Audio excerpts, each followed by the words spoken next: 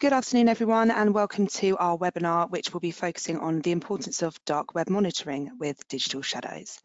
I'm Danielle Chapman. I work in the marketing team here at Bytes. Today I'm joined by Michael Marriott, Senior Product Marketing Manager at Digital Shadows, who will be holding the webinar today. I'm also joined by Toby Noble, Cybersecurity Specialist at Bytes, who will briefly talk about the relationship between Digital Shadows and Bytes. Okay, so I'm now just going to pass you over to Toby.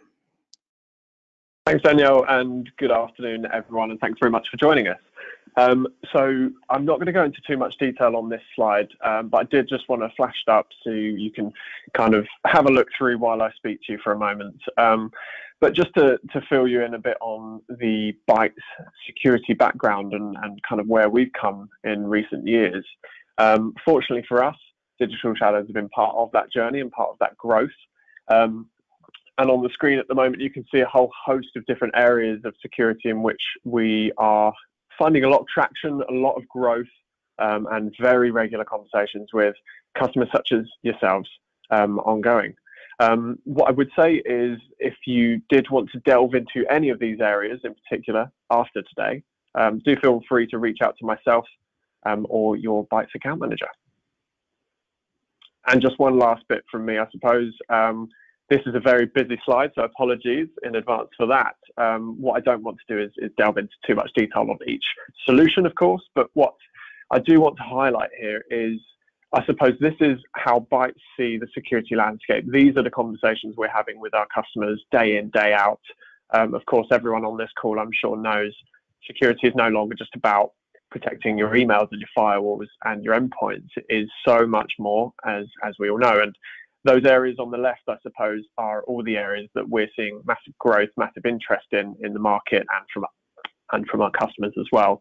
Of course, today we're here to hear from Digital Shadows, um, and they are about two thirds of the way down that list there under threat intel and digital risk.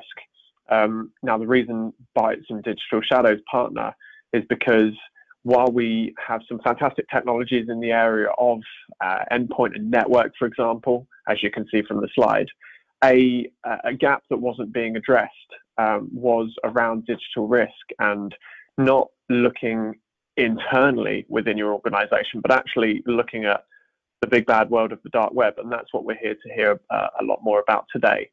So I'll stop rambling. And without further ado, I will pass over to Michael from Digital Shadows. Thank you very much. All right, thanks, Toby, for that, that glowing introduction. And I think that sets up really nicely what I'm going to be talking about today. Um, as Toby mentioned, we're looking outside of the traditional network. And one of the questions that comes up a lot is what's my profile on the dark web? Should I be concerned about that? What does it look like? Um, so we chat to a lot of people about what they can expect to find from the dark web and, and how that maps to actually their use cases. Is it just some shiny thing, or, or should they be really concerned? And how how can they actually do stuff to action that and reduce their risk profile outside of their network? So uh, today I'm going to talk a little bit about that and uh, dive into some trends and some examples and, and even a bit of a, a live demo as well if we have time. I, I, thought I'd start off just by uh, pulling a few headlines because I mean this is just in the past two weeks. Um, but it happens every single week. We see more and more stuff about the dark web, and it tends to be fairly drug centric. Uh, so lots of people in London ordering drugs um, from the dark web uh, because for various reasons it's harder to get and it's a lot easier to get on the dark web.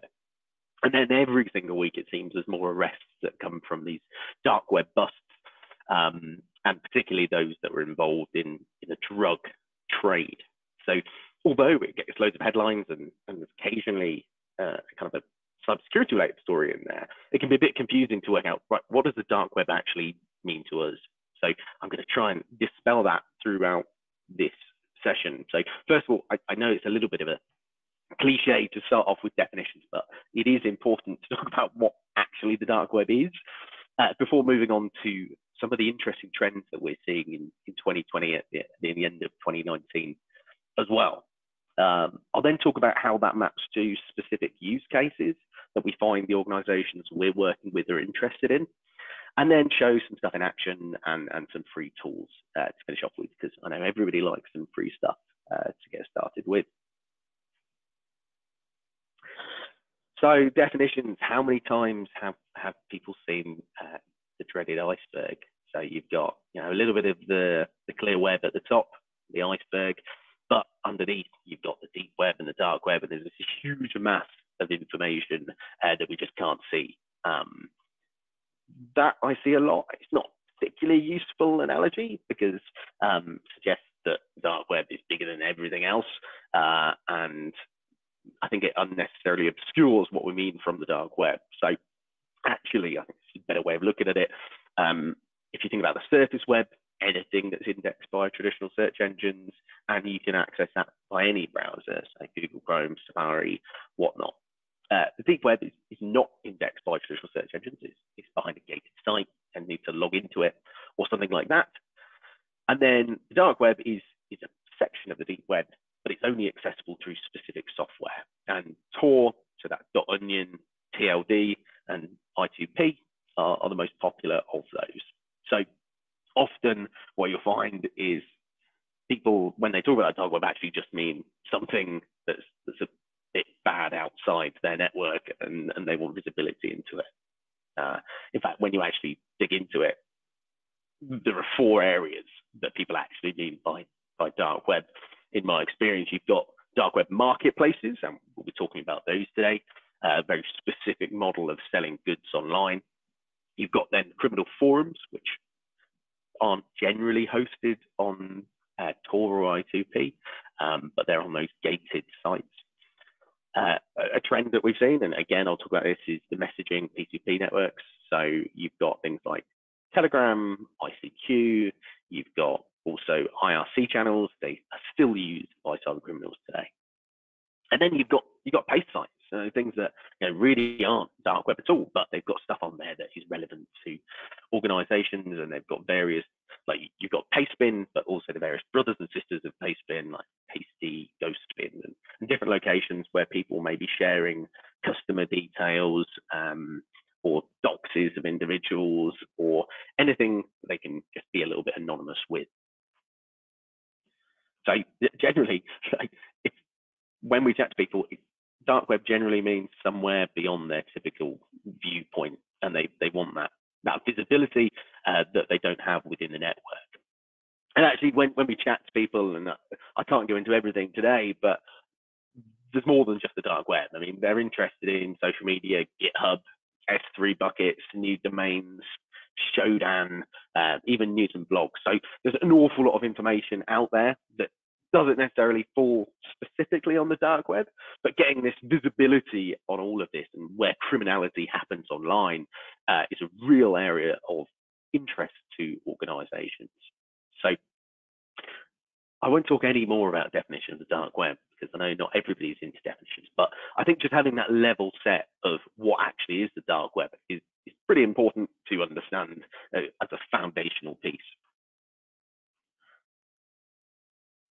So the, the, more interesting stuff, at least I think, is the, the recent trends that that we've seen, and I've distributed this into a few of those different types of dark web locations. And the first one is is absolutely marketplaces, and that's quite a specific model. Um, if, if you remember back to 2017, uh, Alphabay was all the rage, uh, and for good reason. It had a, an enormous amount of vendors and customers on there, and specifically they were going for this is the founder of the site, becoming the largest eBay eBay style underground market you know ever created and really specifically hosted on the dark web and they, they created it like eBay to make transactions really easy, really user friendly, and they could just uh, go through loads of transactions each day.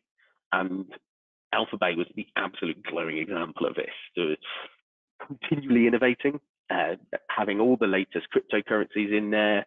They even added a credit card shop in there. They had tens of thousands of vendors, hundreds of thousands of people buying goods on there. And I think at the time that the uh, creator was arrested, they'd gone through over $1 billion in transactions. So incredibly successful site that was being created. And lots of the headlines at the time that came out were around these big data breaches, uh, Facebook, MySpace, uh, that were being sold on Alphabay and different variations thereon. Unfortunately, uh, well, at least unfortunately for the Alphabay founders, is that um, the US and Dutch law enforcement got, got very interested in the drug sale, and particularly with fentanyl, uh, became a real issue for for law enforcement. So all of a sudden, you know, laser eyes on these marketplaces, and it, it wasn't long before they were really in the crosshairs and they were being taken down. And uh, some of you will be familiar with this, but really cool pincer story uh, when they managed to arrest the founder with all of his laptops open. They got control over Alphabay. But they got in touch with their Dutch colleagues and said, well, you know, we've, we've got this really big arrest um, and we've got access to Alphabay, and that's amazing. Um, so they did that. But, and then the Dutch police told them, well, actually, we've got control of Hansa, which is the second biggest one. And so they're able to not release the announcement at the same time. So Alphabay went first, said that you know we've we've taken down this site, it's been seized. They had this notification on the uh, the marketplace itself. So everybody just freaks out and they don't know what to do because they need to sell their goods, they need to buy their drugs, they need to sell different accounts and whatnot. And so they just flock to Hansa, unbeknownst that um, that actually that's now under control of law enforcement. So you can see this is actually taken from Wired.com, but new users on Hansa, you can see it's fairly steady until Alphabay is taken down. Huge peak in registrations. Uh, they even even law enforcement running the site can't deal with the amount of people that are signing up. So then they disable registration, which convinces the cyber criminals even more for reopening it, and even more people sign up. So they're just getting more and more details uh, of all of these vendors and users, which have created so many arrests uh, that we see today.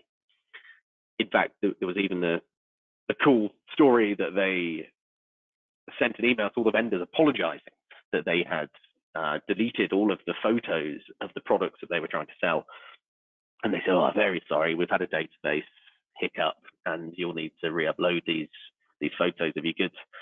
And so they did it, but um, normally Hansa was taking out all the metadata, uh, but they, they didn't offer that service anymore because they were law enforcement and they got all of these photos uh, with generally lots of people's locations, which led to even more arrests.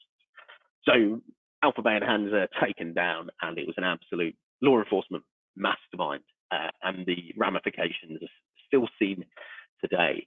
So that was back in 2017, and since then there's been uh, various different marketplaces popping up, different alternative mechanisms being introduced to try and regain that trust of customers because it, it, really took a bit of a hammering. Um, but although there have been many different marketplace takedowns before, I think it had always been a, a case of whack-a-mole, and there weren't that many that actually any takedowns that had that much of a lasting impact, I should say. Um, but 2019 uh, continued to be an absolute disaster for dark web marketplaces. Um, you had Dream Market, which shut down that you can see there. Um, just, just, too much of them with the law enforcement view. Even Market.ms, which was run by some really reputable uh, cyber criminals, uh, they just struggled to make the money they needed to to make it reasonable. Um, but there's been so many others. deep web was sort of a, a, Reddit for getting everything you need on uh, dark web marketplaces, but there's been so many takedowns, uh, it's hard to keep track of sometimes. One here you see was a particularly interesting instance of uh, the Olympus market. Um, which looked at the time to be the one that was going to take over from Alphabay eventually in the middle of 2019. Um, and unfortunately, they got a little bit cocky. Um, so they they said, ah, oh, there's a dark web individual called uh, Hugbunter who isn't particularly liked by a few marketplaces because he does unsolicited pen testing for their marketplaces. And Olympus, as they were consolidating their market share, thought it would be amazing if they could uh, just announce to everybody that they're hacking um, his forum, which is known as Dread. So they, they had this big announcement hacked. Turns out lots of honor amongst thieves. Um, and instead of people thinking that was cool, everybody was was just like, yeah, that that's not cool. Um, he's he's one of us. So uh, everybody just abandoned the Olympus forum, and that was no more. So kind of the nail in, in the coffin for a lot of the sites. Um, still some remain, and there's some really interesting uh, stuff on there, and I'll get onto that later in the presentation. But here's what it looks like now. Uh, you've got uh, a fairly even distribution across the top three or four, and then some smaller ones there as well. You've got Nightmare Market, Berlusconi, Empire Market, uh, Dark Market as well, which is uh, interesting for a few reasons. Uh, but then you've got a, a smattering of other ones that we're monitoring. But yeah, our close sources team always looking at these these developments, ensuring that our coverage maps what the threat landscape is, uh, so that we're, we're, covering the latest and greatest, and we know where the actors are and um, where they're likely to be trading these goods. I mentioned dark market there, and that's something that I've never seen before. I think it's fairly unique because um, it's branded as the first ever female-run marketplace. So there is some progressive elements to uh, dark web underworld, um, and I think definitely these marketplaces are using anything they can to differentiate, and whether or not it is actually the first female-run marketplace, um, maybe isn't relevant as long as they've got that that that hook in which to entice people. But that's one of the ones that's, that's a fairly interesting uh, place where people are selling different goods uh, at the moment.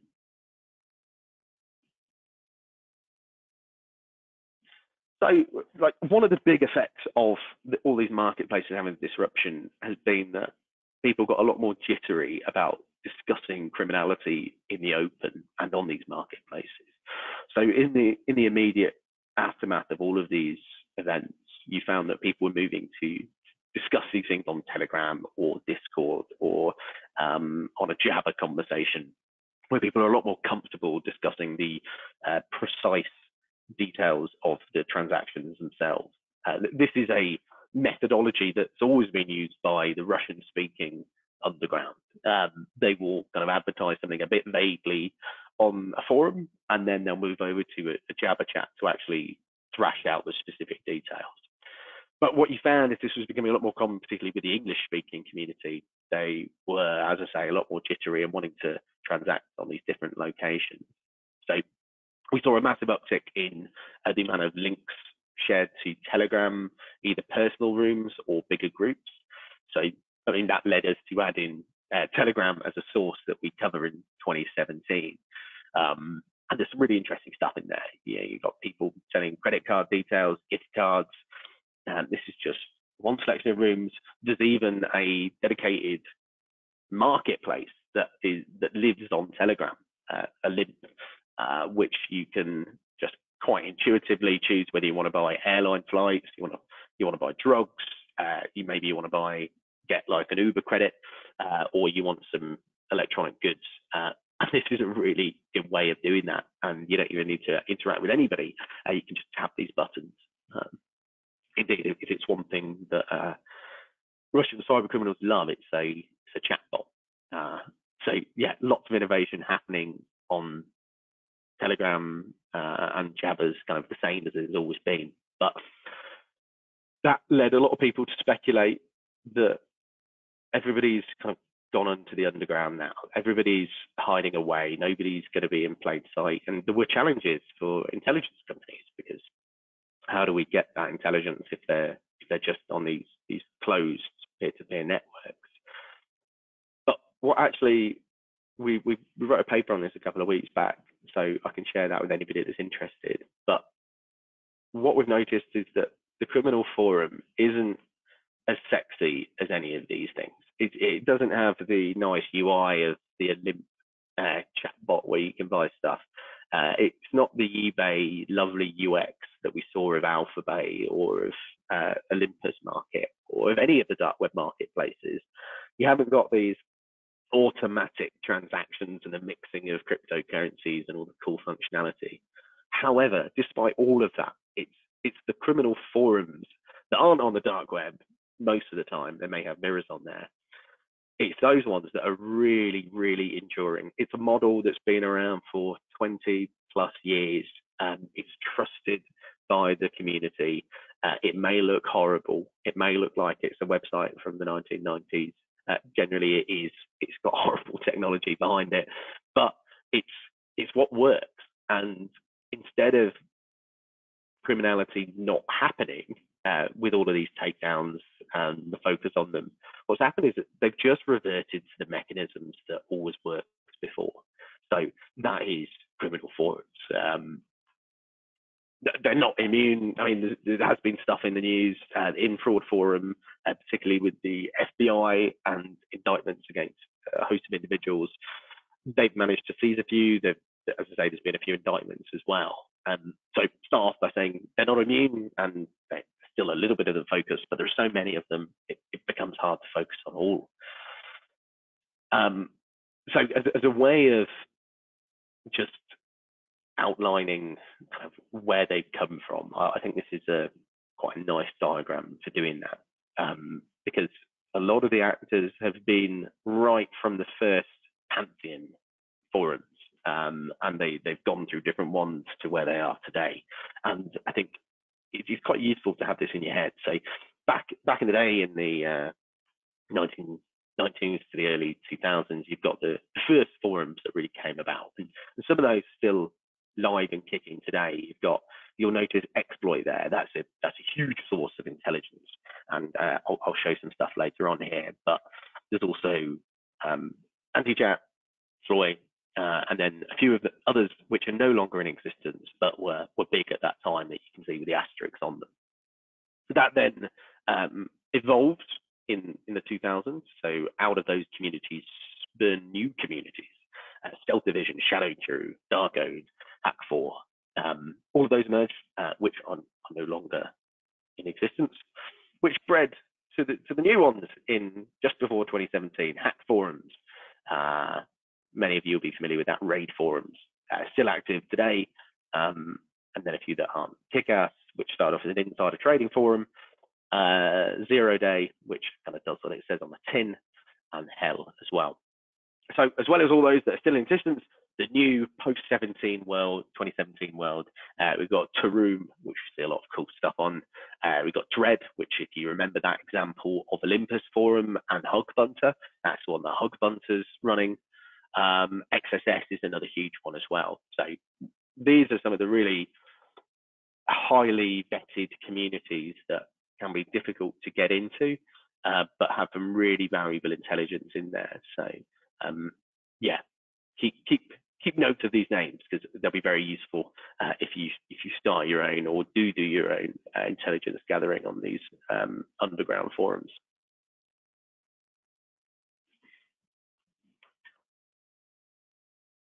So just to just to demonstrate, I've, banged on about how forums are really popular, um, but without really any evidence behind it. So I thought I should probably put some evidence in here. Um, and just to have some of the latest uh, big actors here and just to show how much the growth that we're seeing in these these locations. So Torum, um, a lot of the really interesting stuff that I see come up from our closed sources team comes from Torum. And I'll, I'll, probably show you an example of that uh, after the slides here. Um, but you've got uh, back in February 2019 about 6,000 members. Now, when we looked, when we did this piece of analysis, uh, nearly 44,000 members, which is an incredible growth. That's a lot of people. Um, yeah, Alpha Bay had like 40,000 uh, vendors on there, as you saw before. I mean, but 40,000 members, that, that's an awful lot. And then the post, uh, similarly, unexpectedly, um, going up from 6,000 to 61,000 there too. So lots more activity, lots be monitoring, lots more that we can ingest and make relevant to our clients who are interested in, in getting these too. Similar story for other forums, XSS, um, not as explosive growth, uh, but we're seeing from Feb to 20, Feb to November in 2019, we're seeing almost a doubling of membership um, and a, a, big increase in forum posts too.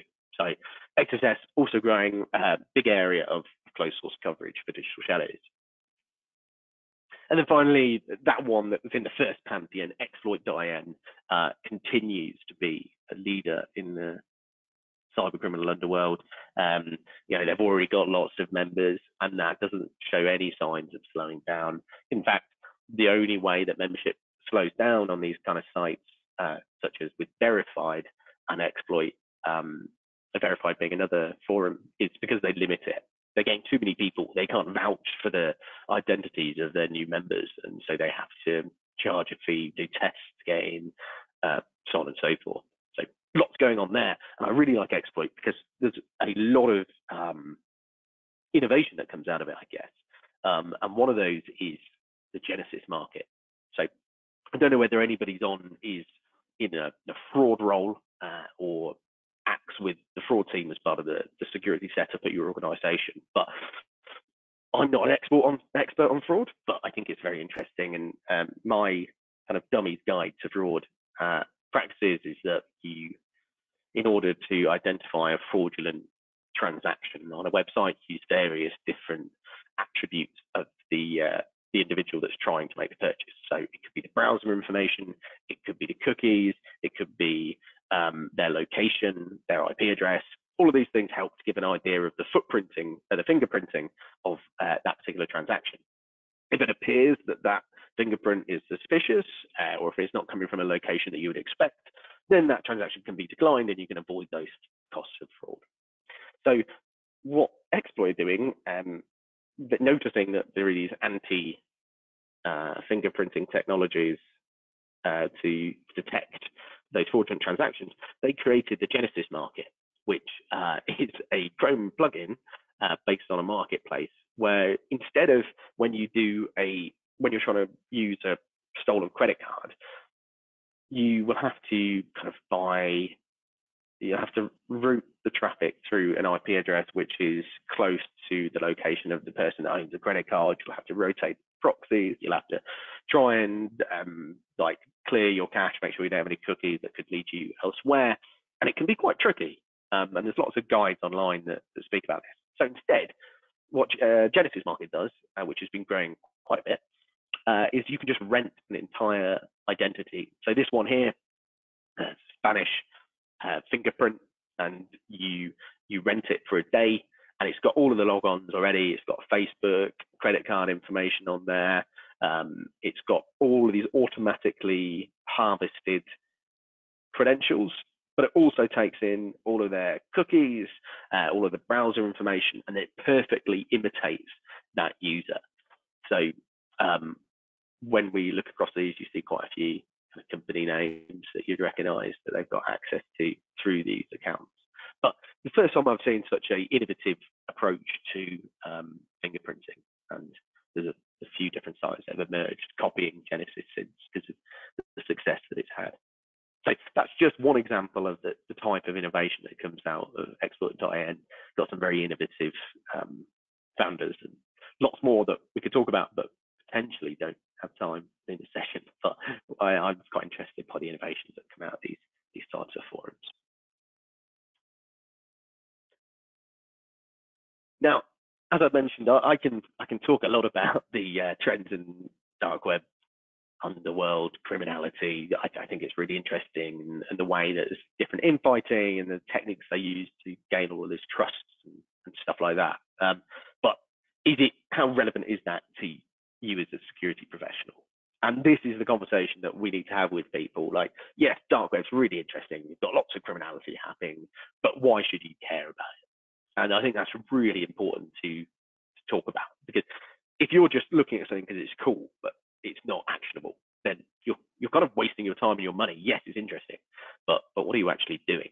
So we've been working with a lot of companies who have been at this for a few years now, and uh, I think now it's sort of crystallized into why people cover these sources. Um, and for me, it falls into these three areas. So firstly, they want to be detecting external threats and specifically phishing campaigns uh, higher up in the in the kill chain. So they want to be looking at phishing kits, uh, what's going on there, people targeting them, uh, as well as a few other areas, whether there's um, named on target lists, um, people asking for access to their network, so on and so forth. I mean, that's that's the main area, and people are very interested to get that that prior warning and, and make some decisions based on that. We see a lot to do with fraud uh, and hacked customer accounts. So it could be, depending on your company, if you're a retailer, it could be counterfeit goods being sold on these marketplaces. It could be customer accounts if you're in the technology space. Um, obviously, an incredible amount of fraud with that goes on. And I think if they can gain the visibility that people are selling hacked customer accounts, uh, they can actually do something about that and uh, make some actions to to reduce fraud and, and save money on the bottom line. And then thirdly, breach employee credentials. That's a really tangible use case. If you've got employees that are using their passwords and uh, corporate emails uh, sign up for other sites, that really leaves the company exposed. So being able to get those as soon as they crop up um, and then work out whether they're similar to the actual organization's policies and then reset them if necessary. Um, yeah, there's a huge trade in these. Uh, so many stories about uh, what they're up to, uh, and all of these sources that we've come across today, um, there's a big trade in credentials there. But these three tend to be uh, the biggest areas. We did some recent, this is, this is hot off the press, um, so you're very lucky for people that are uh, watching this. We did some recent analysis of the average price of a phishing advert, and we've done this by company. So got eBay cheapest, Facebook, Amazon uh, is most expensive if you want to uh, buy a phishing advert uh, across all of these criminal forums. And uh, over, the past two and a half years, uh, if you're looking to buy a phishing template, um, banks obviously, unsurprisingly, are the the most valuable and they cost the most. So you can you can hire somebody to create a perfect clone of a bank's customer login portal, and then you can register that, that domain and just upload the template and send that as part of um, phishing campaigns and, and dupe customers, or indeed, uh, in many of these cases, employees into providing their emails. Um, so, like, obviously, if anybody you work in uh, email security or you're involved in uh, responding to phishing attempts, I think the fact that you've got email spoofs, um, people clicking on links that go to a, a, fake Outlook or Gmail login, that's incredibly common and they're pretty to a penny to pick up. So really reasonable uh, to get these phishing templates. If you can actually uh, download them, uh, you can get an idea of what they're what they're actually spoofing and the difficulties, in fact, that they have with doing so. So um, what, what they're failing to imitate and then kind of doubling down on that is, is something that we've seen organizations doing.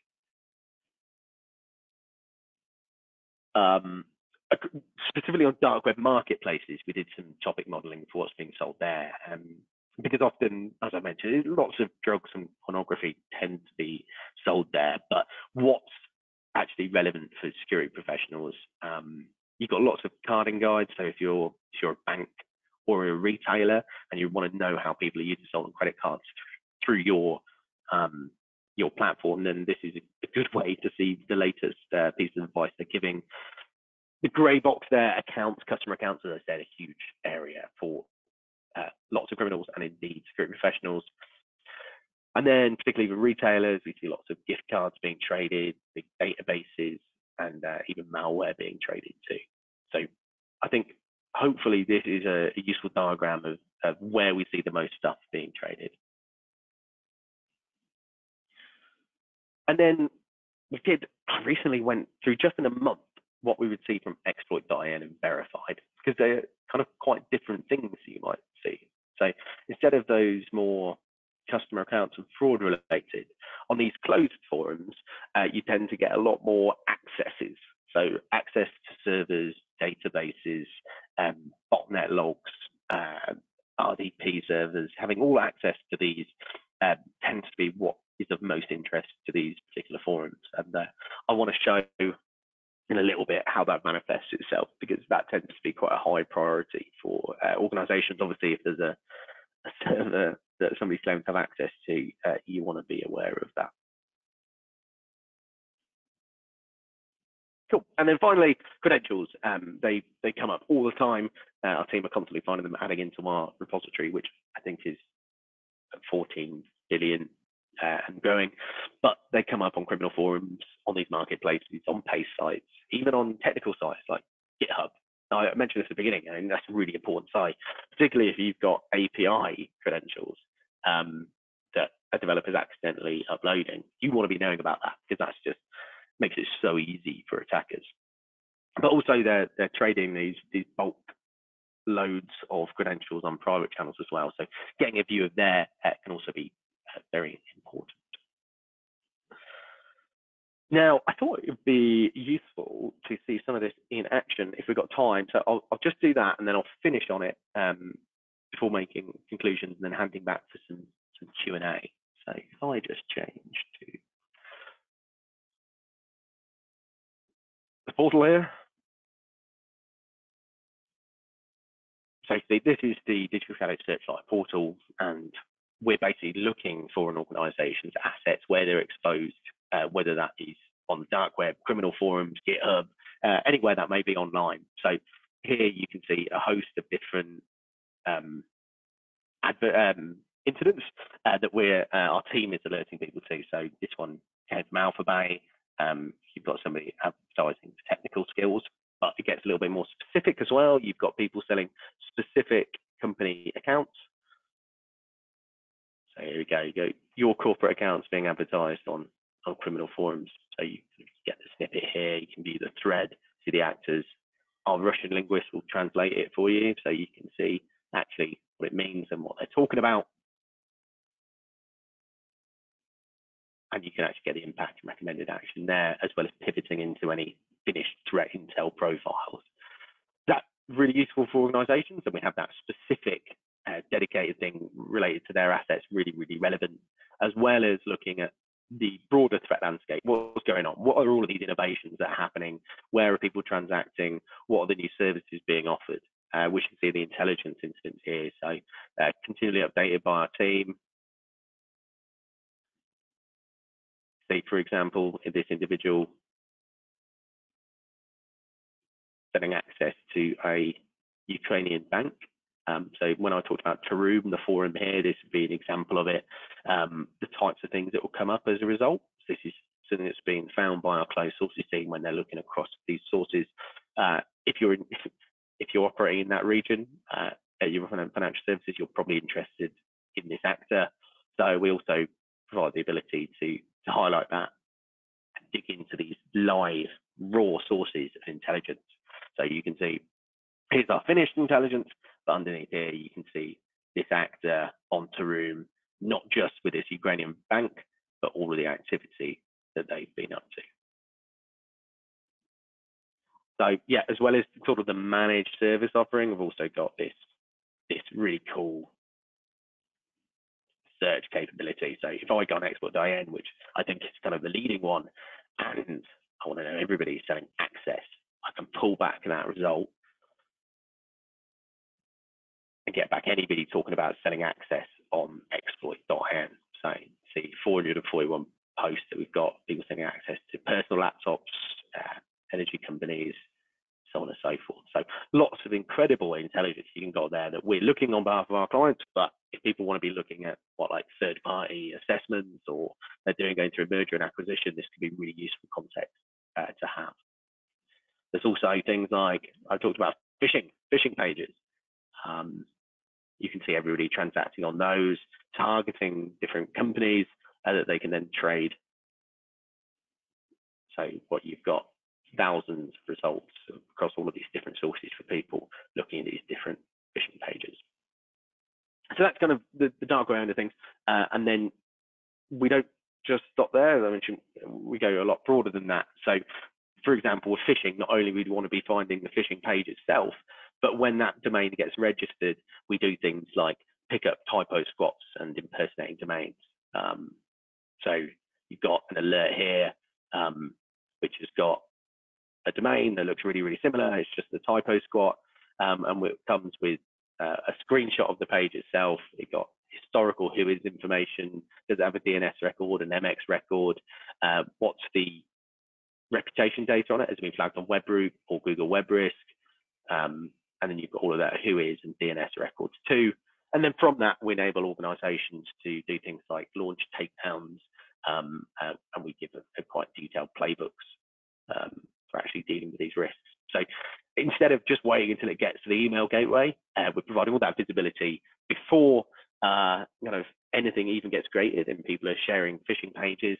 And then when that impersonating domain, as soon as it gets registered and it's got these risk factors involved, we'll alert that to you and provide you ways of remediating it. So yeah, that's that's just one example of alert. There's many others, whether it's board minutes exposed on a misconfigured FTP server, whether it's API credentials being exposed on GitHub, um, whether it's a contractor that's exposing a pen test that they've done of you. These are all things we, we see pretty commonly.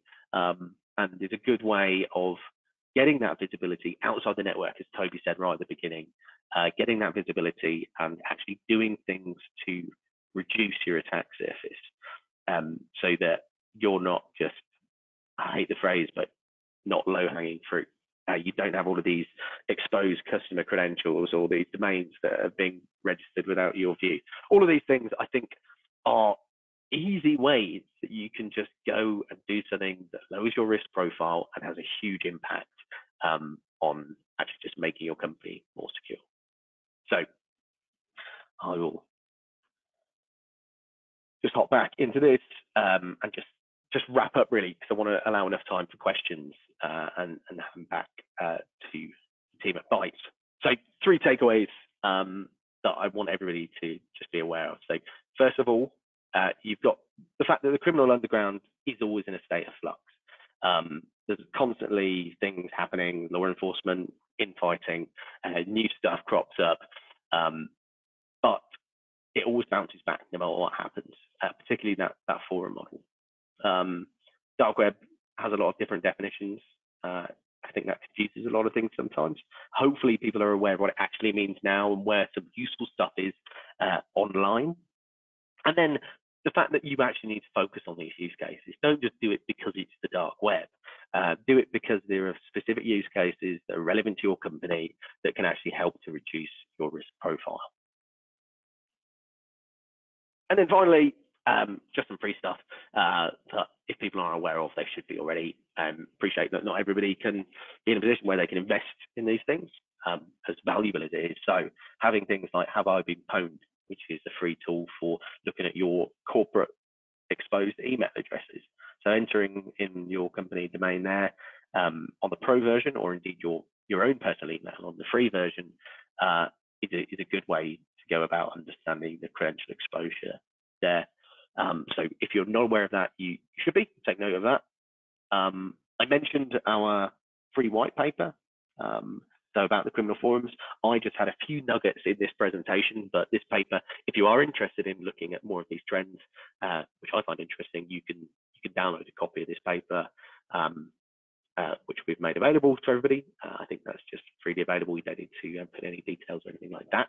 So feel free, fill your boots. And then finally, uh, we, we can can actually go and uh, register for test instance and do some searches of your own, like I just did in Shadow Search, and, and see what it's all about. So uh, that's all I had. I will stop sharing now uh, and just allow any time for questions if they crop up. So thanks everybody. Okay, thank you, Michael. Um, I'd now like to open up to any questions. So if you do have any questions, please just submit them in the questions box, which is at the right-hand side of your screen on the control panel. I'll give it a couple of seconds so uh, you can get your questions in. Thank you.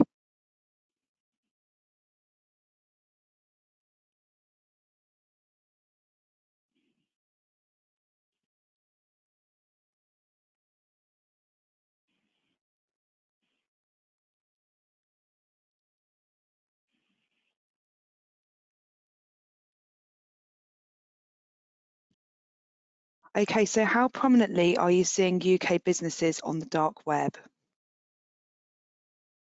Yeah, um, it's pretty common um, for UK. Um, it's a big area. We see a lot of, first of all, there's a lot of vendors uh, that are from uh, the UK. There's a uh, an actor selling a lot of accounts called Gnostic Players um, that we suspect is UK based. Um, and indeed, a lot of the the databases that this act is selling are for UK-based companies as well. Um, I'd say more than oh, just under half of the companies that we work with are based in the UK. Um, I mean, we've got a big client base there, and, and yeah, there's, there's, a lot goes on. It sort of depends on your industry as well. So if you're a retailer based in the UK, there's there's a lot uh, of stuff on dark web marketplaces. Obviously, if you're a bank as well, that tends to attract a lot of attention. Uh, but yeah, I, I, think the UK is up there with the bigger um, presences that we see. Okay, brilliant. Thanks, Michael. And how is the product priced or licensed? Uh, yeah, so it's on a on an annual recurring basis. Um, so you've got a, a, set fee, it's a managed service, um, and it lasts for a year. Unlimited assets, you register as many as you want, unlimited users, uh, and you get access to all of these sources and identify all of these risks uh, that are out there. So uh, just one fee based on the size of the organisation and number of employees, uh, and that will get you an annual subscription for a year. Thank you very much. So also, um, I've had another question from someone. If I understood correctly, on the triage tab, would it, we, sorry, we would see only alerts for assets related to us, domains, IPs, etc. And if so, is it priced by asset? Um, so two parts of that question. First one, yeah, absolutely correct. So that triage screen is just those that are specific to the assets that the company's registered with us. So that's our way of making it relevant and kind of our unique spin on threat intelligence, where it's not just generic threats, it's really specific to that organization, and that's what we're all about. Um, but because that's what we're all about, we don't charge per asset because we think that's a silly way to do it, and it uh, would discourage people from making it relevant to their company. So actually, we encourage as many assets as possible. We don't have that as part of the pricing model because we believe that it should inherently be made as relevant as possible. So, uh, no, uh, you can register as many assets as possible, and indeed it is encouraged. Um, so, for example, if you if you just register one domain, uh, your company email domain, you'll get exposed employee credentials. Uh, you'll get certificate issues from the infrastructure side of things. You'll get people mentioning your, uh, so they've got like phishing kits for your um, your domain. You'll get spoofs of that domain. And that's all just from one asset. And typically we'll have people registering thousands of assets. Um, and we absolutely wouldn't want to limit that. But it's a good question. Brilliant, thank you, Michael. Um, so also, which industries are at most risk? Yeah, each industry has, has obviously a slightly different risk profile. Um, I mentioned banks, so banks with phishing sites. Um, obviously, the lure of having um, customer accounts being harvested is quite appealing. So having phishing sites set up for banks is incredibly common, as well as trading in banking, Trojans and malware. That that's a big area. So we work with a lot of banks who are interested in that and kind of making sure that they're on top of these things and they're reacting as soon as possible and reducing the risks of that happening. Uh, one bank we work with, uh, I think within a domain was registered in the morning. Uh, we didn't that didn't reach our threshold for alerting because it didn't have any of the risk attributes. We then re-alerted when we got MX records and DNS records. Um, they were then able to take they were able to launch a takedown and, and by early afternoon before the phishing campaign had even started uh, they had removed that domain so it was a huge area and a huge win for that particular bank so banks that's a big one retailers um, uh, that's also a big one so people selling particularly things like customer gift cards, customer accounts. Um, that that's quite a specific risk profile there, and obviously you've seen all the Magecart stuff that, that's happened in the last six months uh, or a year. So big one for retailers, but there are other things like more slightly more niche industries, like with a lot with insurance and asset management companies, um, who are really interested. If there's anything outside their network that's proprietary, sensitive, they're really interested in getting their hands on that and making sure um, that they are familiar with it and can take some actions to remediate the risk. Uh, so if you think about like any board minutes or M&A activity, um, they are particularly sensitive to that because they have big financial impacts. And then finally, uh, technology companies. Uh, we see seen a huge growth in technology companies, um, particularly those that are developing their own software. So uh, technical leakage on GitHub and Stack Overflow are, are big areas that people are interested in. Their developers are sharing proprietary code, if they've got API keys, clear text passwords, these are all things we see see time and time again. Um, so if you're interested in that, do get in touch. But also technology companies have these big, big growing brands that they're interested in protecting. And there's that interesting crossover between security and in the world of brand um, that we we have kind of like a foot on either side of, which which can be useful. But I think off my head, those would be the top ones. Um, but sort of depends on the organisation to organisation, really. Brilliant. Thank you again, Michael. So um, that's all the questions that we have for today. Uh, thanks so much for the time to, for, sorry, for taking the time out of your day to join the webinar. Hope you found it valuable and um, thanks to Michael and Toby for presenting.